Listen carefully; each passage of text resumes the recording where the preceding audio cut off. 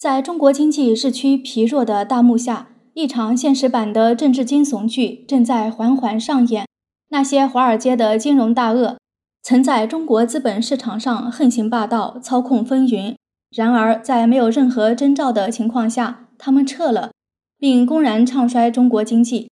到底是冷硬的经济数据逼迫他们这么做，还是有更深层的考量在背后操纵着这一切呢？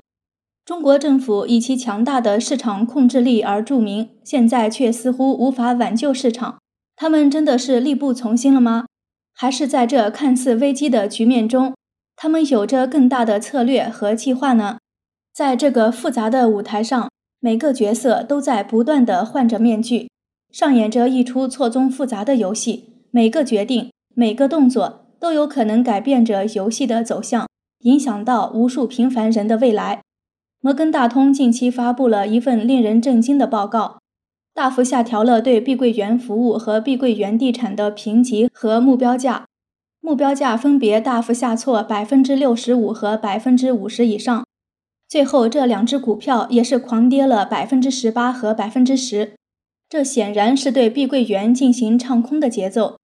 在华尔街的金融殿堂内，每一篇报告都是基于繁复的数据分析。专业的行业洞察和深度的战略思考而构建的，因此，一旦华尔街选择发声，其影响力将在金融圈内产生深远影响。华尔街近期对中国房地产巨头碧桂园的唱空立场，反映出他们对中国经济的悲观情绪，并表明他们在中国的投资利益已经在减少，因此他们可以无顾忌地对中国经济的前景进行质疑。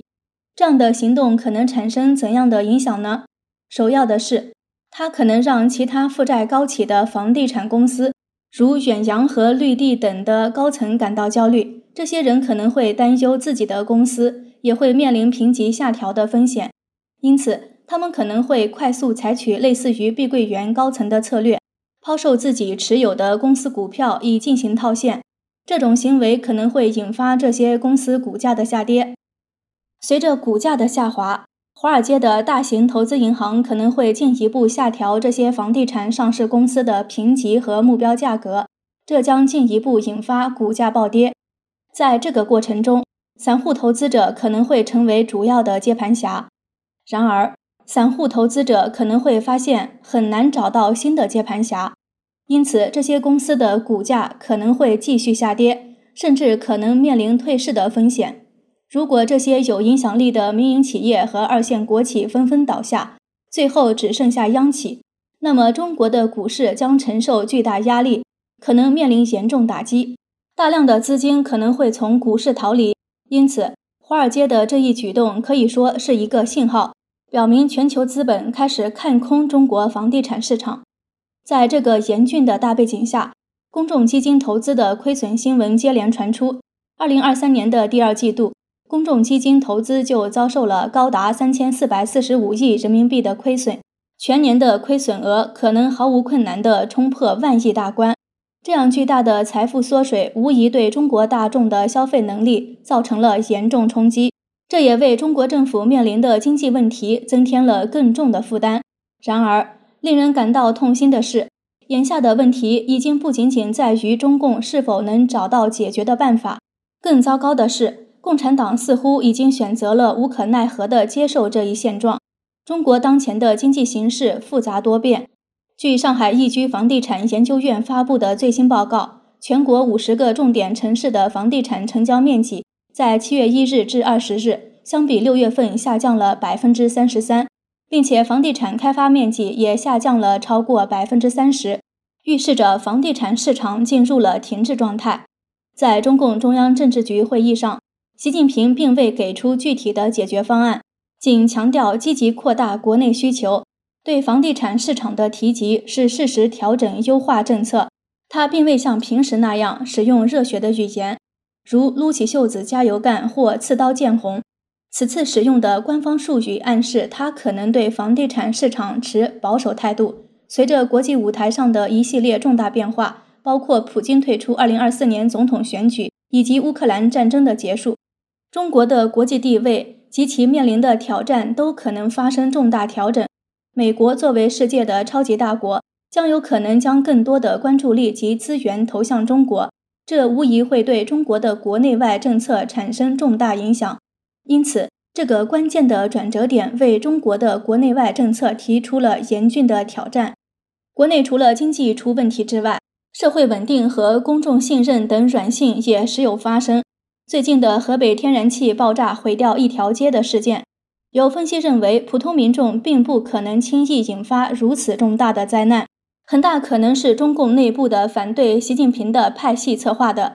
因此，习近平格外看重对内部的维稳。目前，二十一个城市正在建设和平与战时两用的应急设备，说要准备打仗，但实际上更是要对内维稳。与此同时，在国际舞台上，中国的形象也在遭受挑战。最近的成都大运会开幕式上，当日本队和韩国队的队员们走入场地时，现场突然一片寂静，仿佛被冷风吹过。更为震撼的是，在中华台北队出场的瞬间，“统一祖国”的口号震动了会场。这种场面让人不禁产生疑问：中国是否也在借此机会，通过特殊的方式向世界传递其对外关系的立场和态度？然而，这样的表现并没有得到中国的高层领导的赞赏。相反，习近平对这个情况显得非常不满。他觉得这可能会被世界解读为中国的一种不雅行为，因此他要求彻查此事。据了解，进入大运会开幕式现场的观众都经过了严格的审查，他们必须是党员，且三代人无任何违法行为，没有失信记录，才有资格获得开幕式的入场票。而且拿到票后，他们都会接受统一的培训，这就包括对日本和韩国队伍的冷暴力。以及对台北代表队统一口号，同时媒体监管也在加强，进一步控制信息的传播。这一点可以从近期对媒体高层的打击看出。光明日报的董事长董玉玉、澎湃新闻社的董事长陈峰，他们都被抓，这无疑是对媒体控制的一种警告和加强。紧接着，政府针对猴痘发布了一系列新的防控措施，引发了社会各界的广泛关注。令人担忧的是。这些措施似乎有针对性地强调了对某些特定人群的防控，比如经常公开上访抗议的公民。政府对这些人的病情监测和检测远超其他人群，这引发了一种担忧：政府是否正在利用疾病防控的名义对这部分人群的自由进行限制？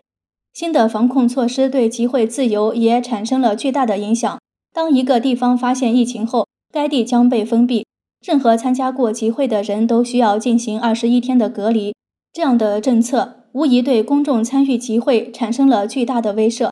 最引人关注的是，这些新的防控措施并未在明显的疫情背景下发布，而是在中国经济面临挑战的时期。因此，有观察家认为，中共政府可能正在利用疾病防控作为幌子，转移公众对中国经济困境的关注，并借此得以更为有效地控制社会。然而，这只是近期政策调整的一部分，反映出政府对社会控制的强化。新近实施的《北京反恐法案》对于北京的住宿、邮递服务以及无人机使用实施了更严格的实名制度。对于违规使用无人机的行为，政府将进行严厉的处置，包括没收甚至破坏无人机。这一做法虽被官方形容为无害化处理，但其实它极大地侵犯了公众的权利。尤其是当领导的决定可以基于他们的个人喜好或情绪，如果领导看中了你的无人机，他们可能选择将其没收；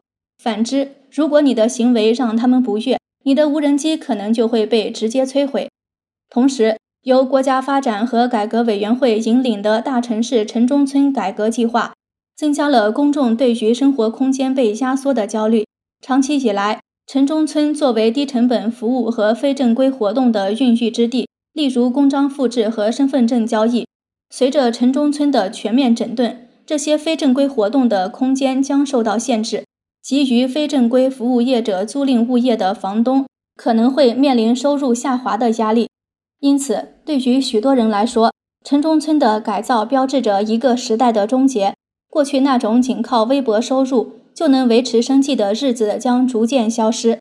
然而，更大的惊悚还在于中国火箭军近期所面临的严重问题，这已经引发了中共内部的争斗。对习近平带来了空前的挑战。中国火箭军负责导弹的发射，但近期在关键的芯片技术上遭遇阻碍。芯片是导弹导航系统的心脏部分，没有先进的芯片，中国的导弹实力可能大幅削弱。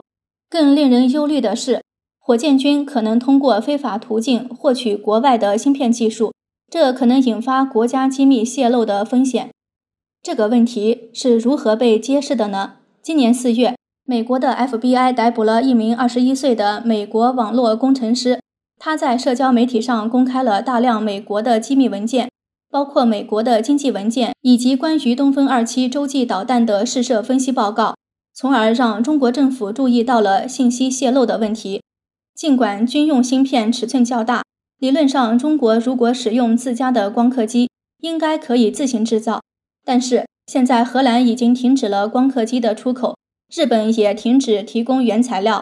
因此中国无法自产满足导弹需求的芯片。只能通过各种民间公司向西方购买，但是购买芯片需要提供详细的参数，这就给了中国火箭军的机密文件泄露的机会。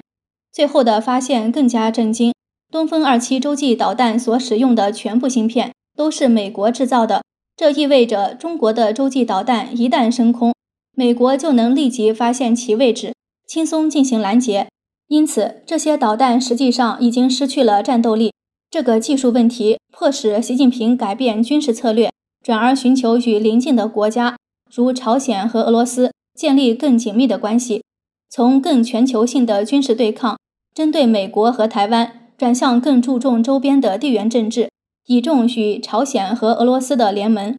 看到中国目前所面临的一系列问题，华尔街的分析师们已经开始对中国的经济前景表示悲观。首先，芯片技术的短板使中国在关键军事领域变得脆弱，这无疑引发了对中国未来的安全担忧。其次，习近平的新策略即从全球性的军事对抗转向与周边国家，如朝鲜和俄罗斯的联盟，也让人们开始怀疑中国在全球影响力的未来。再者，国内的政策改革，例如对公众生活空间的挤压，以及借疫情防控措施转移公众对经济困境的关注。都可能会导致社会不稳定，进一步拖累经济发展。这些因素综合起来，让华尔街开始唱衰中国，预测中国经济未来可能会陷入更大的困境。因此，我们可以理解为，为什么华尔街要唱衰中国？因为中国经济本质上已经不堪重负，与俄罗斯和朝鲜结盟是大势所趋。这样一来，经济发展就显得没有那么重要了。人们生活在供给制的社会中。每个人能分到什么，就取决于能供应的资源。这就是为什么习近平一直强调粮食的重要性，强调和俄罗斯结盟，因为粮食和能源是生存的基础。所有的这些政策都展示出了习近平的战略：闭关锁国，与美国断绝联系。面对这样一部现实版的政治惊悚片，未来对中国的普通人民来说充满了未知和不确定性。